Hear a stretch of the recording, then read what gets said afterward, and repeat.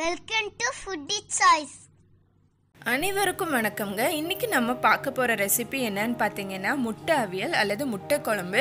Already நான் வந்து உளுந்தஞ்சோறு recipe போட்டிருந்தேன். அதோட பெஸ்ட்டு காம்போ இது தான் வாங்க எப்படி பண்ணலான்னு பார்க்கலாம். ஒரு ஒன்றரை முருங்கைக்காய் எடுத்து இப்படி நீல வாக்கில் கட் பண்ணி நம்ம வந்து கொஞ்சமாக தண்ணி விட்டு வேக வச்சிடலாம் வேக வச்சதுக்கப்புறமா இதில் வந்து அரைக்கிறதுக்கு என்னெல்லாம் தேவைன்னு பார்த்துக்கலாம்.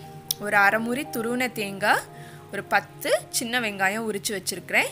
ஒரு ஸ்பூன் வந்து நல்ல மிளகு கொஞ்சம் மஞ்சள் காரத்திற்கு ஏற்ப மிளகாய்த்தூள் இவ்வளோதான் இது வந்து ஒரு மிக்சி ஜாரில் ஃபஸ்ட்டு தேங்காய் போட்டுக்கோங்க.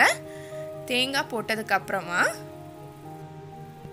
அடுத்தது கால் ஸ்பூன் மஞ்சள் தூள் காரத்திற்கு ஏற்ப மிளகாய்த்தூள் நான் இன்றைக்கி ஒரு ஸ்பூன் மிளகாய்த்தூள் எடுத்திருக்கிறேன்.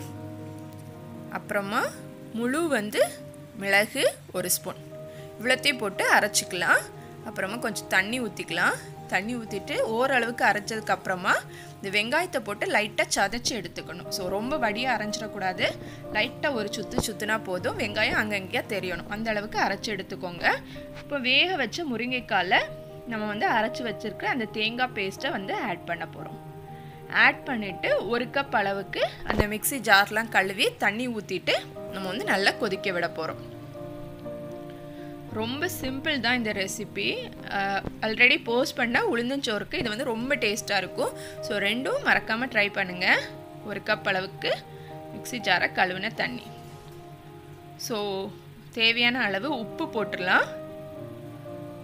ஸோ உங்களுக்கு எவ்வளோ முட்டை வேணும்? நாலா? இல்லை அஞ்சு முட்டைனா முட்டையை வந்து வேக வச்சு எடுத்து வச்சுருங்க. இப்போ வந்து லைட்டாக கொதி விட்டு வரும்போது ஒரு கையளவு கருவேப்பிலை எடுத்து ரெண்டாக பிச்சு இதில் வந்து சுற்றி போடணும். ஸோ இது வந்து எக்ஸ்ட்ரா ஃப்ளேவர் கொடுக்கும் இதுக்கு. ரொம்ப நல்லாயிருக்கும் ஸோ இப்போ நல்லா கொதிக்கட்டும் இது. இந்த ஸ்டேஜில் வந்து குழம்பு ஓரளவுக்கு கொதித்ததுக்கப்புறமா நம்ம வேக வச்சு எடுத்து வச்சுருக்குறோம்ல முட்டை அதை ஆட் பண்ண போகிறோம் ஸோ முட்டையை ஆட் பண்ணிடலாம்.